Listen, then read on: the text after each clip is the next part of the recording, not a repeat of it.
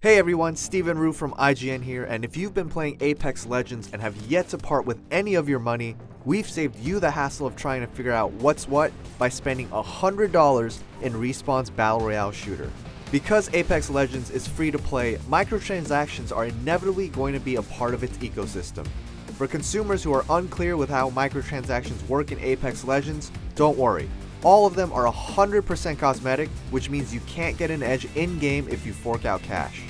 You can actually see every unlockable cosmetic if you head over to the Legend and Armory tab.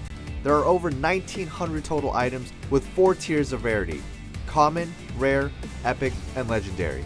Players will have unlocked 45 total Apex boxes once they reach level 100, and with 3 items per box, that means you're getting access to 135 free items. There is duplicate protection and a guaranteed legendary item every 30 packs, so you'll at minimum get one legendary item and 135 unique items if you don't shell out any cash. If you do decide to spend money, you'll be buying Apex coins, the in-game currency you use to purchase the Apex packs. Straight up, each Apex pack is 100 Apex coins, which is basically 99 cents. However, if you purchase one of the Apex coin bundles, like the $99 option, you'll receive bonus coins. Breaking down each bundle, the $99 pack gets you enough coins for 115 boxes, which essentially makes the cost per box 87 cents. The $59 bundle gets you 67 boxes at 90 cents per box, The $39 bundle gets you 43 boxes at 93 cents per box, the $19 bundle gets you 21 boxes at 95 cents per box, and the $9.99 bundle gets you 10 boxes at the standard 99 cents per box.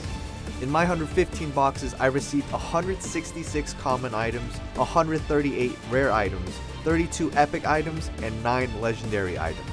My 9 legendary items included 3 legend skins, 3 weapon skins, 2 banners, and 1 finisher move. This is all subjective, but I was definitely disappointed in seeing my legendary drops turn into a banner, so you have to factor in that every legendary you get might not even be worth it to you. Statistically though, at a 24.8% chance at an epic item and a 7.4 chance at a legendary, I was supposed to open 28.5 epics and 8.5 legendaries in 115 packs.